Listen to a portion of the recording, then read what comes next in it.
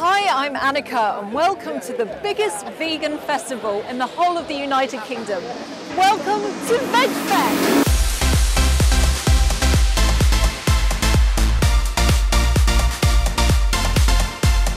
I'm vegan and I adore animals. I work with them both on and off TV, so where better to come with Green World Television than to VegFest Bristol, home to one of the biggest and most successful vegan festivals in the world.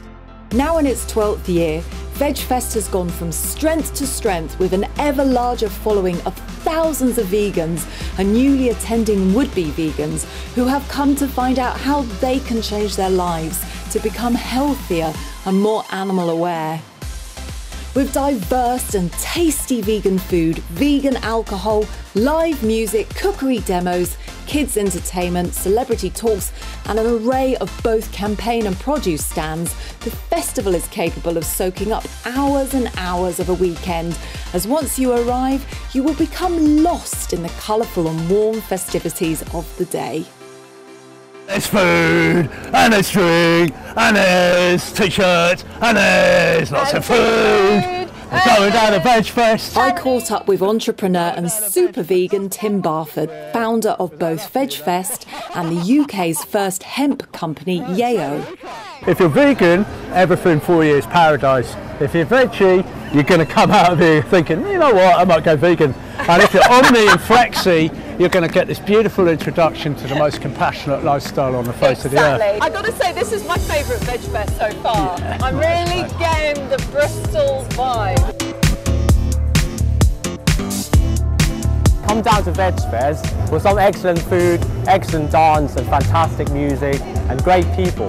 Excellent. And what do we love? We love Veg Fest. We love, we love Veg, Veg Fest. Fest. Now, where would VegFest be without its tasty food? And one thing that VegFest is famous for is showing the diversity of vegan food from around the world. So, where better to stop than the sushi van to have a try of their fake duck sushi?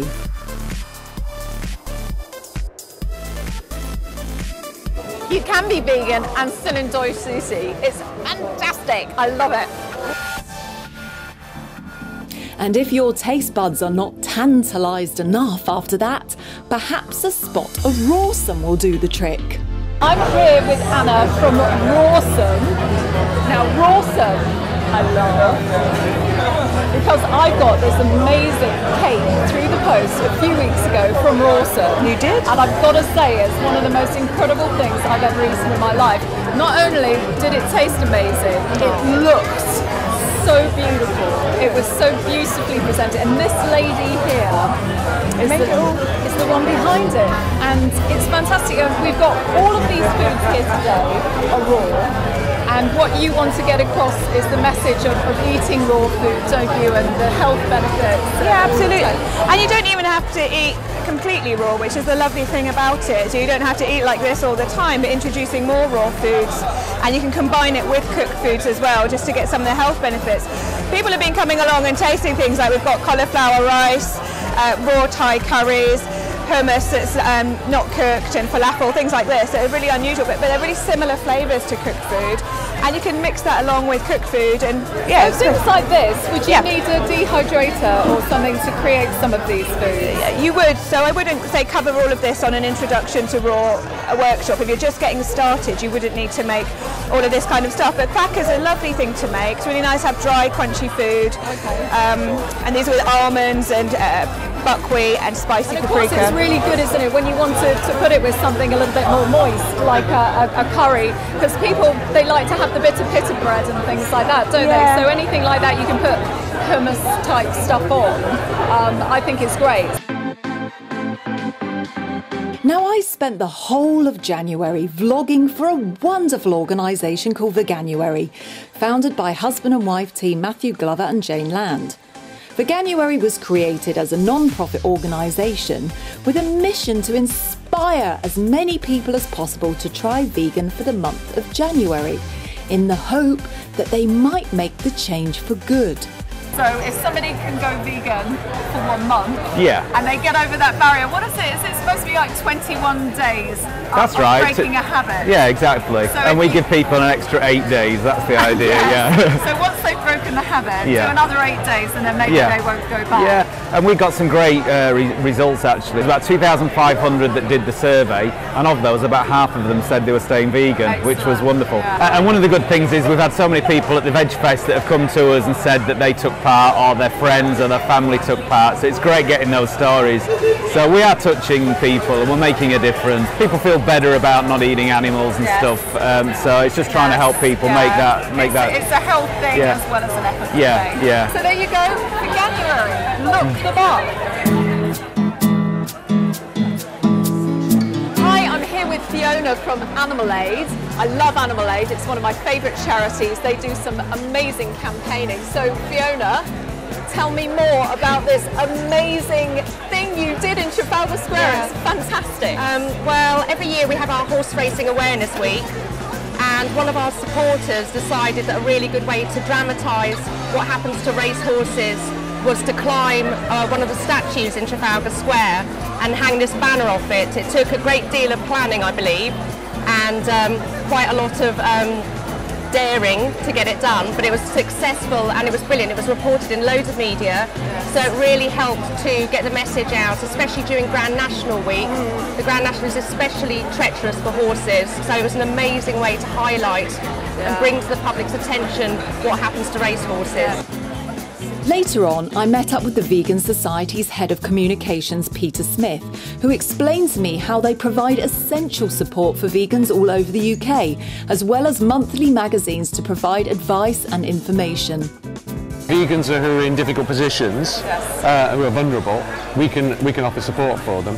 We can work with the authorities to make sure that um, there's provision for vegans as well. And so we've got a, a Hospital Catering Association partnership, which we're working on to make sure that people, when if they do need to go into hospital, then that, they, that, that all hospitals know that they need to provide uh, good vegan food. I've got to say, you know, even just going on holiday, it's bad enough. Um, finding something that doesn't have dairy in it. So I, I, I actually know myself a lot of vegans that will actually go vegetarian when they go on holiday because they say, oh, when we're traveling, it's so hard to actually Yeah. get that cheese out of the diet. You know, all these ready meals you get on the aeroplanes and everything. It's, it's very, very difficult. So I can imagine it's even harder in hospitals with, with Oh, yeah, patients. yeah. We get phone calls in the office though with people who are um, who are in hospital, and usually a member of the family calls to ask us to advocate on their behalf, and so we'll then contact the, um, the hospital. We have the um, an old anniversary special, which is 20 years old, and I've been vegan 30 years. So I'm oh, looking at Oh, wow, theirs. 30 years, that's Yeah. amazing. So I should say, that's lucky. high actually, five me for that. Oh. Neighbouring onto the Vegan Society stand was Teen Vegan, a wonderful organisation which I wish that I'd had access to while growing up, whose motive is to provide support for teenagers who have decided to change to veganism, providing meet and greets and day camps for them to attend. I'm here with Kylie, one of the founders of Teen Vegan, and of course, I think it's amazing because your your idea is to inspire all the youngsters, isn't it? To, Yeah, to of course. Yeah, I mean, we just wanted it to be like a place because there's so many amazing campaigning groups out there, but there was no one who was doing anything just for like young people. So we just thought that they're like our future generations, and we really wanted to do something that was just for them, uh, and that's where it all came about from. So what- do you what do you get the most um, queries about? Is it um, youngsters that would like to become vegan and they don't know how, how what to eat and things like that? Or Yeah, there- it's, it's quite varied. I mean, we get a lot of people who are already vegan but don't know any other vegans, so they want to meet like-minded people, get ideas for food, and then we have people who don't even know what veganism is, but just are, are curious to find out and different things like that, and just want support um, from us, really. do, you, do you ever come across some youngsters that want to go vegan but their parents are stopping them? A lot of the time, yeah. There's like a story from when we first began where we had like a, a girl who was in Germany um, and she wanted to be vegan, but her, her father wouldn't let her, and we offered her a loads of support, and she's now actually vegan, and her family have turned vegan as well. Oh, so we just offered her support all the way. Like, Oh, and uh, wow. she's like living in Berlin now, um, and in uni, and her mum and everybody have gone vegan. So it's just like a really nice to follow her story and stuff. Really good. So do you have any social meetings, social gatherings, or is it all done online? Um, it's basically done online because we've got people um, in the USA, China, all over the world who are like members on our website. So although we're based in South Wales, our website is global. Um, and we are the first sort of meetup that we're doing is camp this year, Excellent. um, which is the UK's first ever young vegetarian and vegan summer Where's camp. that going to be? It's about half an hour from Bristol. Um, it's in a place called Goblin Combe Lodge. It's set on 130 acres of woodland and beautifulness. Oh, that is gorgeous. So Yeah, you can all sit around making um, vegan food. I know they're going to be having like vegan breakfast, lunch, dinner, doing cookery demos, loads of activities, wildlife walks, and stuff like that. So. Midway through the day, it was time for my super juicing demo. I have been juicing for many years now and combine it with my hour of yoga a day. I was delighted to be able to help inspire so many people to unwrap that juicer which has been sat in the corner for many months, bite the bullet and have some fun.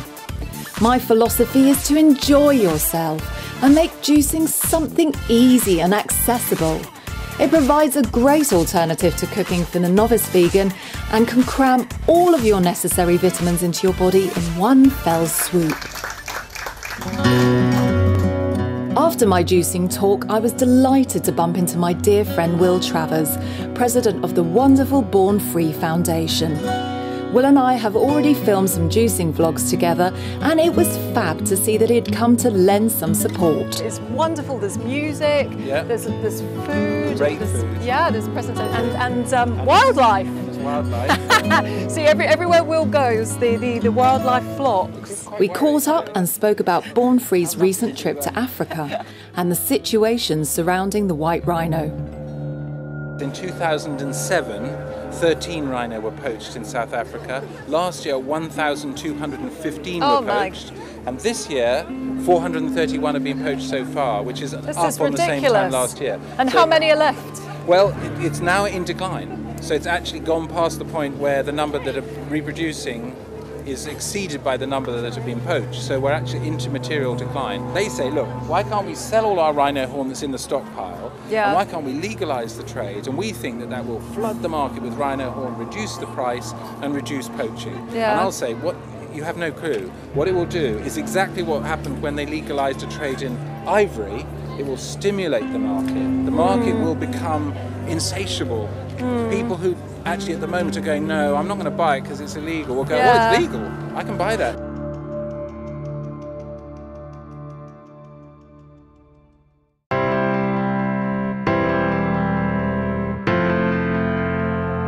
Now, just to prove that vegans aren't all puny and small, I thought that we should stop by with the vegan bodybuilders and have a natter. You can definitely live a really healthy and fit vegan lifestyle and build muscle. Actually, I built most of my muscle on a vegan diet because I started lifting weights and became vegan at the same time. So all my strength is really plant built. And yes, and many people who see vegan athletes, they say, oh, they probably built their muscles when were, they were eating meat and turned vegan afterwards. But that's definitely not the case. When it comes to bodybuilding, do you still think it's important to have protein in your diet, even if it's plant-based, or do you think that's sort of a myth? Uh, it is very important to have protein, but probably not as much as many people think. And I think another misconception is that you need so much protein to build muscle, but actually you need more protein when you diet, when you want to lose fat to maintain your muscle, otherwise your muscle will get degraded. Uh, soy products have a great uh, amino acid profile, then legumes, grains, uh, nuts. Yeah, then you know if you eat all different kinds of food and just don't stick to one food, the same food. Anastasia showed me her huge guns, all fueled on plant based power, might I add, before she was off to host a live arm press competition between vegan victims. Oh, did I say victims? Competitors, I meant.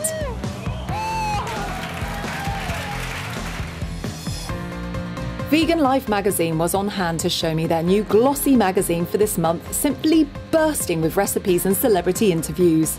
Uh, in this one, we've got uh, Patrick Baboumian, who's a bodybuilder. Um, we do some nutrition stuff, so cover things like protein or calcium or B12 that people think possibly a vegan diet is deficient in. Yeah. Lots and lots of recipes. So it's an amazing magazine. Thank you very and, much. Um, I hope you have a wonderful day today, and everybody out there, Vegan Life. If you want to know any more about being a vegan, this is the magazine to buy.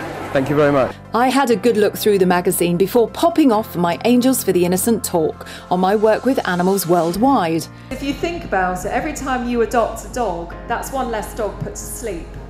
I truly believe that the future for animals is in our hands. So, if all animal organisations were to join together, we would be able to move mountains. I founded AFI as a support for many animal causes worldwide, including dog welfare, stopping the fur trade, putting an end to marine animal exploitation, support for pro fox and badger organisations to put a stop to factory farming and the exploitation of animals in circuses and zoos. It has been a pleasure to film so many amazing individuals and organisations this year and to be part of the worldwide movement to help animals. As VegFest founder Tim so rightly states, it's not to give animals rights, but to support the rights they already have. Mm. Later on, the lovely Amanda Hines, the lady behind 365 Vegans, grabbed me as I scuttled across the concourse and I became her 51st interview. A couple of weeks ago, I did go out with the Hunt Sabs, mm. and that was really, really exciting because the, the Hunt Sabs, they, they sort of live by the moment and you don't know what to expect. And you just sort of go out there and you're running and the, the, you know you're trying to stop the fox from being killed. Luckily, we didn't see a fox, so they were okay. I was so chuffed to be part of this. Amanda has set herself the challenge of interviewing 365 vegans in one year, and she was making the most of the festival, which was simply brimming with vegans left, right, and centre to grab for her interviews. Now, finally, where would a festival be without some music, some fun, and some good old dancing? After a fabulous live show and some interesting dancing of my own, I caught up with lead singer Jarvis Smith of the charismatic band The Phoenix Rose and was delighted to find out that we are kindred yogis as well as green gurus. And I do lots of other things for, for, for anything that has an ethical nature to it, uh, or is, uh, is, is in respect of, of nature, the planet, human beings. So it's not just about vegetarianism or veganism. But um, so yeah, I publish a magazine that goes out with the Guardian called PQ. It's formerly called Green. It's now in its sixth year, I That's think. amazing. That's really Um, well done. It's the biggest ethical magazine in the world in terms of its readership and its distribution. So that's an exciting project, and that's kind of the shop window for the other media businesses that I'm involved in. Excellent. So I run an awards called the Pea Awards, which stands for People, Environment and Achievement Awards. And it's about honouring individuals, the real people doing real things with sustainability. Fantastic. And not the corporate brands Yes, the I know, because it all comes down to it all comes down to the individual. At Yeah, the always, day. always. Because it's not the big companies, and I think, do you know what really concerns me is that people feel that they're not good enough to make a difference, and I really yeah. honestly think that um, if everybody realised how important they were Yeah. to change everything, Yeah. then, then it would be an amazing thing. You know, I truly believe what you've just said is what's happening now because I think you and I and people like us, and there's lots of us, are now recognising our own strength, our own power, our own courage, our own divinity, our own connection with Source. And I think that has a lot to do with the fact that we've chosen a, a, a- an alternative lifestyle that is now becoming mainstream.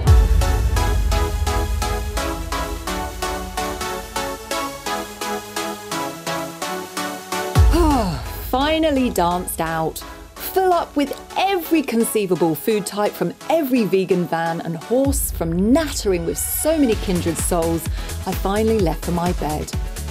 Obviously, my night would be filled with all the colourful, sensual images from the day and dreams of the next Veg Fest. So watch out, London. I'll see you there.